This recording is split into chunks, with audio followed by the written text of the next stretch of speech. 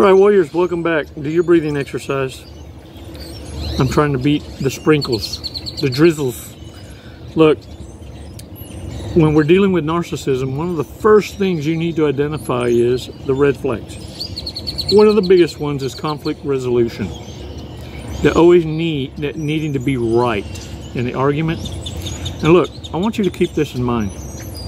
In your mental mind space, which you need to be understanding, you're dealing with the short bus riders. You're not going to win. Have you ever, as an adult, thought about trying to win an argument against a 14 year old, a 5 year old, a 10 year old?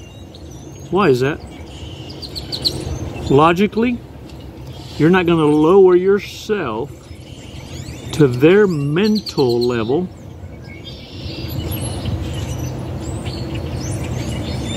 because it's not you. You're too more intelligent to risk this than to get in an argument that was not designed to be won. So, warriors, pretend to be Confucius. Depending on how they served it up, understand narcissists are the ones that choose the rules of engagement by their approach. I can act just as Confucius as the next guy and be just as disagreeable and leave. Leaving them in a uh, just a cluster, wondering what the hell just happened here. Now look, the kicker is this. When you discard ever so gracefully, your challenge is this. Try not to celebrate too soon. Try not to fade away like they did with that shit-eating grin. See, you have enough class to understand how to fully discard without someone ever knowing that they've been discarded. Well, you're so damn smooth as owl shit that even flying monkeys, I don't know if y'all have had it happen to you, I have, where flying monkeys come in to orbiters wanting their turn, and because they feel that they're going to elevate themselves in your eyes by telling you a secret, which is nine times out of ten something you already know, know or you intuitively felt. They come in with a full-on confession, and if you hear it through, what brought it on was this: because there is no loyalty among thieves, liars, and cheats. All it takes is for one to turn on the other, and they'll switch sides. Let me tell you something when I was in law enforcement, not a whole, whole, whole lot of effort was put into solving crime of gang related violences, drug related violence, drug deals gone wrong, things like that. Everyone knows, I mean, it's, it's not a big, big fucking secret that a lot of those crimes get solved on their own through a confession once someone needs a get out of jail card or a get out sooner than later good behavior card. Let's work out a deal. Everybody's a squealer when it comes down to being in front of the judgment seat. Warriors, I don't care if you have to dance, spit, throw shit, tuck and roll, scream at the top of your fucking lungs, throw an ugly, ugly cry. What I don't want you to do is do it in front of the fucking narcissist. They're watching you, waiting for a moment to come in and save you or take advantage. And for the others that did you the harm, they want to come see what their destructive power did and see if they need to come and add a little more measure to your misery. Nothing to give them more pleasure than to kick you when you're down, warriors. So I'm not saying don't feel. What I'm saying is there's a time and a place for the feels. And it sure ain't right there in front of the one that caused you the hurt. You damn sure ain't gonna get any better if you keep going to the same place that got you cut up. There's two different kind of people that are wanted back. You, on the one hand, are wanted for the snuggle love. Narcissists are sought after, run into, and wanted for an ass whooping. They've done a lot of folks wrong. Adding your name to their list is just another one to look out for, depending on how you execute your walk away. Own it. If there was ever a time for you to take ownership of it as a man, walk out with your fucking dignity. As a woman, continue. Protect your virtue. Don't act like you're going to run out there and behave like a toxic ass and give yourself to others ever so freely as if you're hurting others. It's a part of the plan. See, they want you to fight fire with that kind of fire. You're fighting fire with intelligence.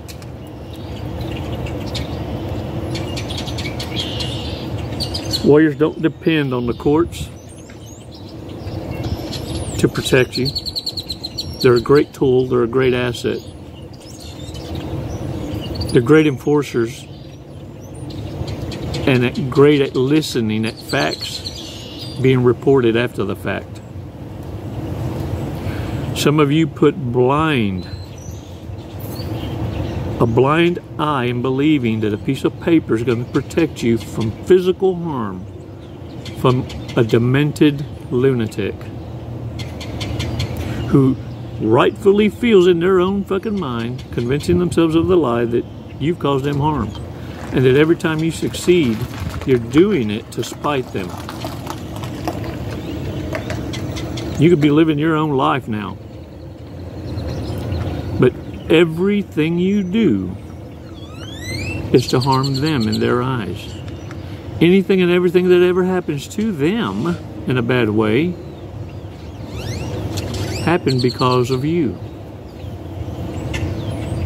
Because if they were in your position of power and clout, this is what they would do.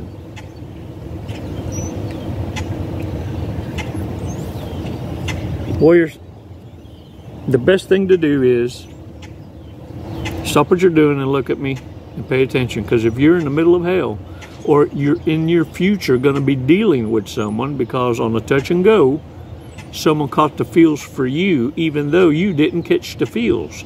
You thought you was playing it right. Chico, I was honest. I, I let him know. I thought I was rolling the dice. I thought I made a good judge of character. Now I got someone trying to stick a knife in my tires. Yeah, someone went cuckoo for Cocoa Puffs. Look, don't depend on the courts for restraining order. Like I said, the way to report is this way report to three different law enforcement entities in the United States. You report to a federal agency, state agency, and a county agency. You write your own summary, and each one has a copy of your summary of events, names of all that you feel a perceived threat from and why. Chronological order with the dates. Give a copy to each of the three and give an affidavit of a statement, a report on video camera. You see, now as a law abiding citizen with no record, you now have the strength and backing of the federal government, state government, and county. With everybody as a witness and testimony given, Scout's honor, that these people mean to cause you harm, unprovoked. As you're living your life now, only toxic asses that approach you have to worry because you can pack. Legally, you can conceal carry and defend yourself all over God's earth. As a law abiding citizen, you will have the support of those you report it to in a public way that you're being threatened. See, you have a responsibility to thrive and live. To put your life in someone else's hands is reckless to begin with. It's no different than logically thinking, I'm going to put my happiness in someone else's hands. I'm going to allow someone else to fill that void and feel miserable because no one can fill it.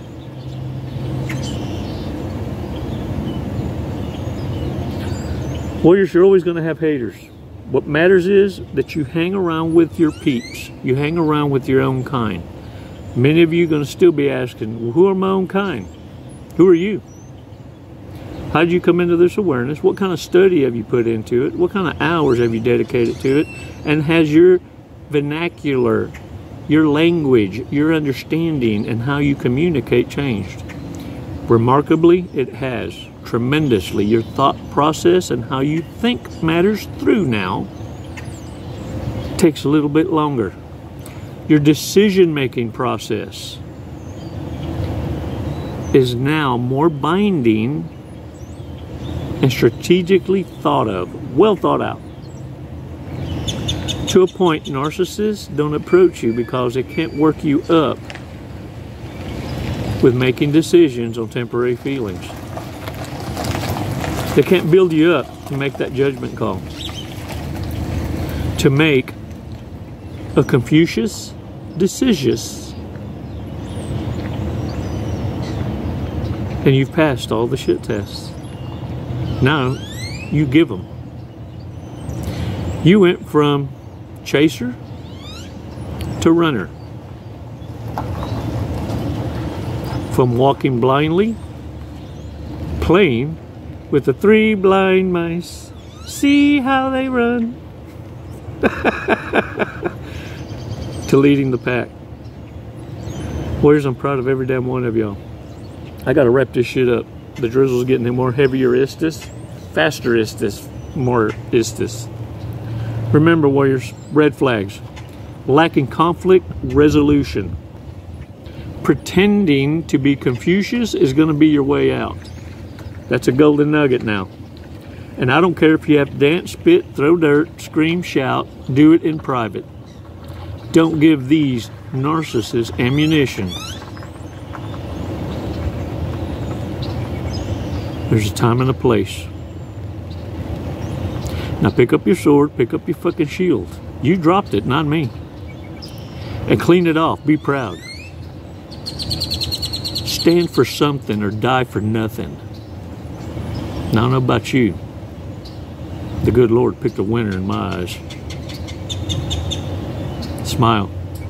You got it like that. It's never goodbye, Warriors. It's always until next time. Les mando besos y abrazos. Namaste. I swear I'm gonna poke my fucking eyeball out.